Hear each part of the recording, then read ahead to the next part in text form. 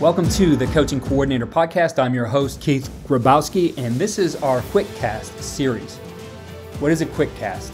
You already know the Coach and Coordinator Podcast for interviews that touch the many areas of the skill set and mindset that makes a successful coach. In our Quick Cast, we focus on a coach's most powerful insight on a single topic. We pull out the most useful, interesting, and helpful ideas into an episode you can consume in 15 minutes or less. It's our up tempo version of the podcast.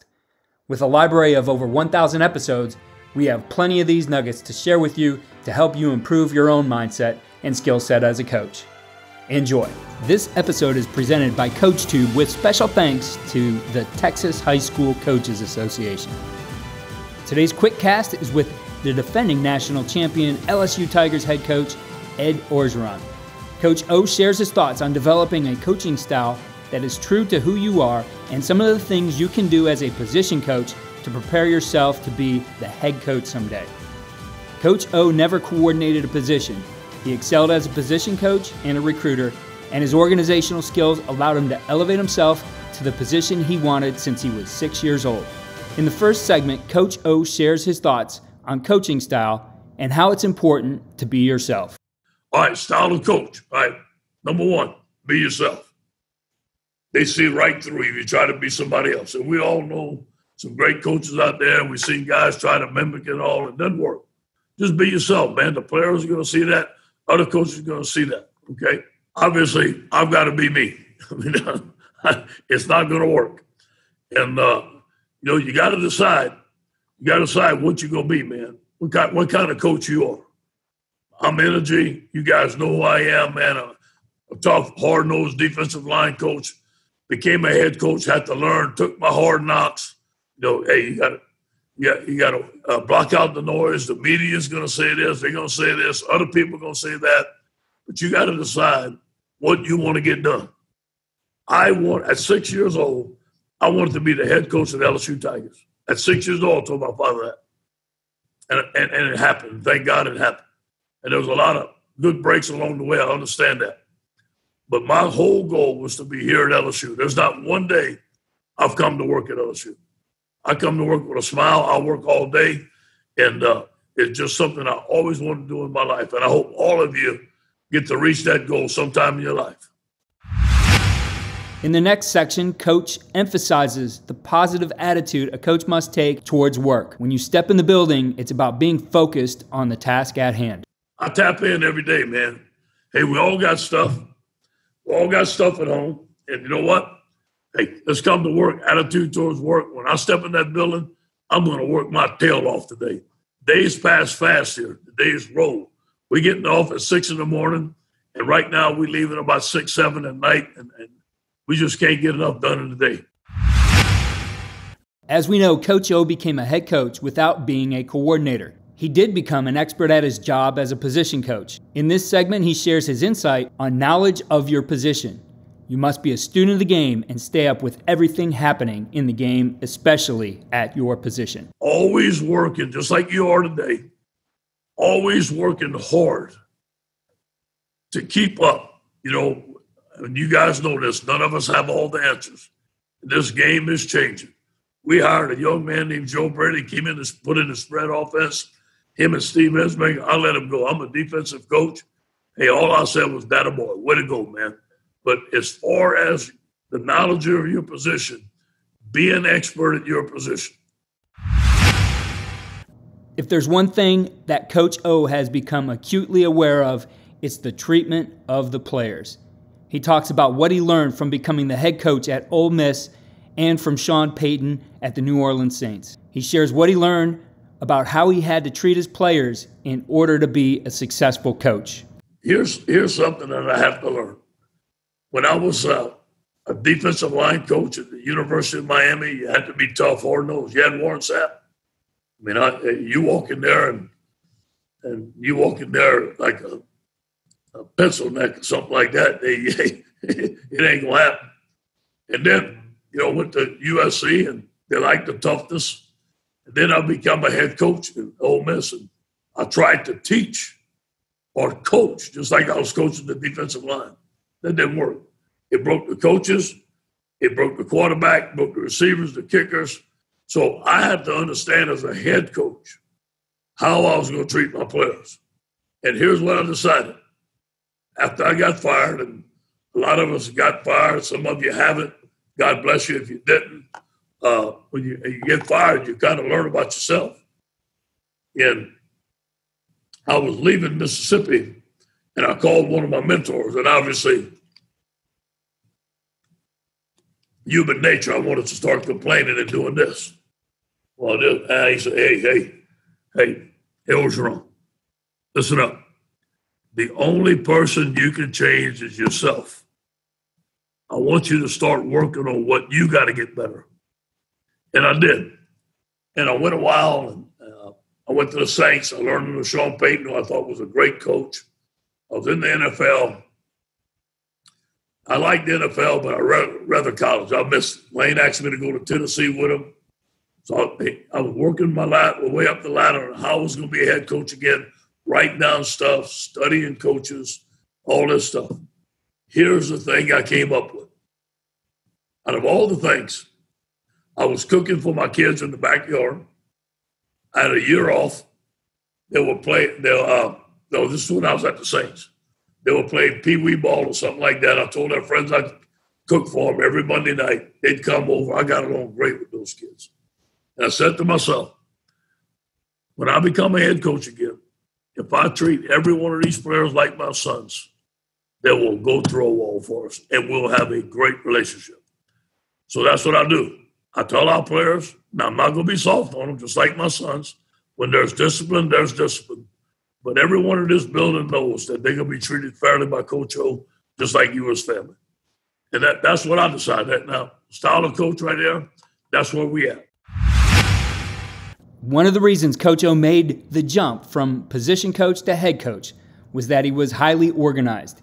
He discusses organizational skills here. And I'm going to show you the things that I learned from other coaches and just put it all together. Now, I became a head coach at Ole Miss, interim coach at USC, and the head coach at LSU Tigers.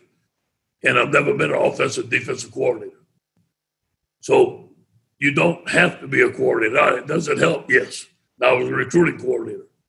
But I do believe that you have a chance, if you want to be a head football coach, of being very organized and details as a position coach and a recruiter to become a head coach. And that can be done. Teaching progression.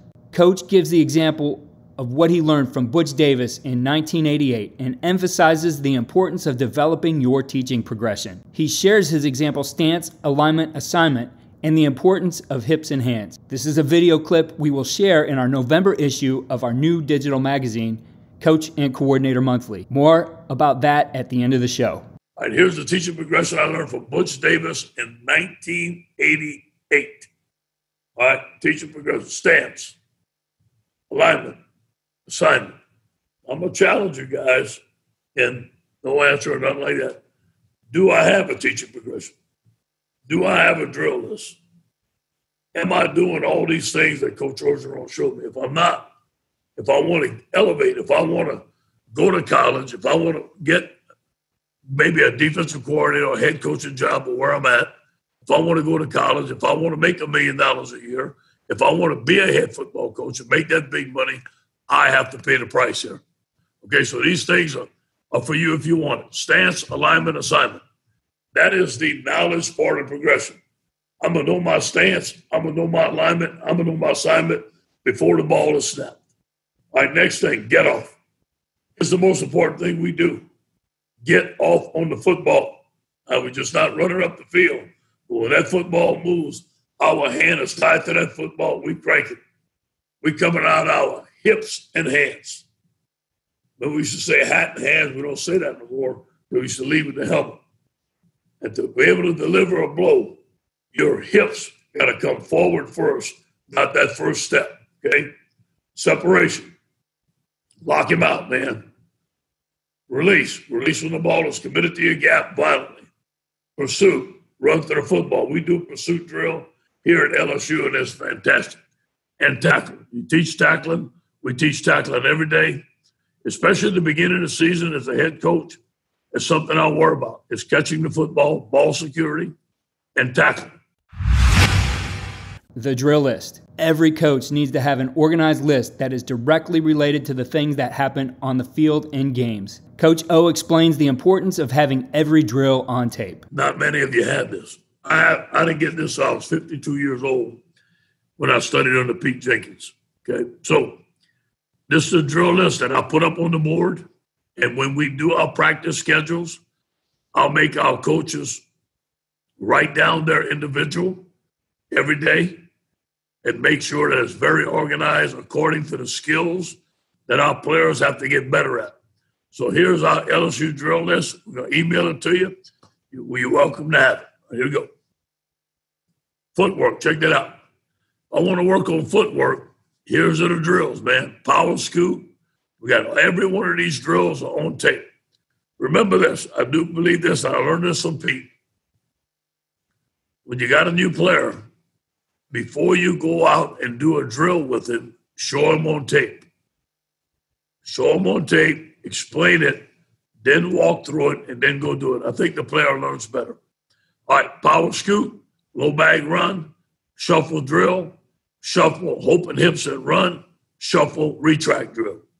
These are all drills that we do, okay, with our footwork. And I, and I, you know, I'm not, uh, I'm not an auditorium right now. I'd get in the base and I'd show you all this stuff. I am, but I got it on tape, okay? All right, next. Pre-practice drill, hoorah. All that is an agility drill. And we tell our guys that we want our feet moving, eyes up, okay? And then we tell them to hit the ground and we want to pop up. All the players are going to get on the ground, but we want to teach them how to pop up. All right, round bags, all right, stunt teach, steer drill, primary gap, responsibility drill, run block release, swim, shrug, three point release. Okay. Pass practice, get off, dip the tip, pass your route, pull, slide. And there's more, promise you. Block reaction, base, reach, cut off, box drill, tackling, form tackle, release form tackle, spin tackle, release spin tackle, angle tackle, release angle tackle. Guys, I have obviously this would be a month to show you all this. I have all this stuff on drill, on drill tape. You send it to me, I will send you the LSU drill list and the drill tape. Okay. All right, sled work, six point, three point explosion. Importance of having a drill list. The drill list ensures that all the drills and skills you teach are covered during camp so players can be successful. Listen to what Coach O thinks about the importance of this list. Some of you guys will be saying, well, coach, I'm a DB coach. Well, yeah, I understand. Or uh, I'm, I'm an offensive line coach.